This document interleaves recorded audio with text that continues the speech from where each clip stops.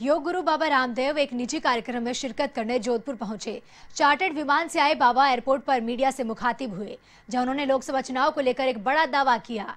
कहा कि विदेशी ताकतें मोदी को रोकना चाहती है। लोकसभा चुनाव में नेताओं के बड़बोलेपन पर बाबा ने कहा कि निर्वाचन आयोग ऐसे लोगों पर कड़ी कार्रवाई करे और साथ ही ऐसा करने वालों पर चुनाव लड़ने से रोकने की कार्रवाई भी की जाए।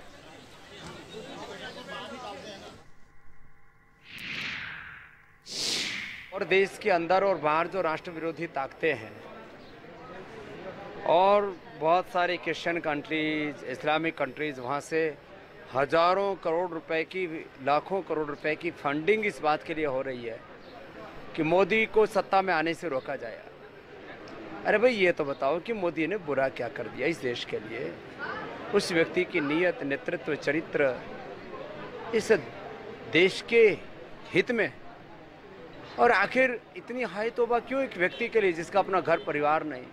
जिसकी भारत माता आराध्या है और राष्ट्र धर्म को अपना कर्म मान करके जो 24 घंटे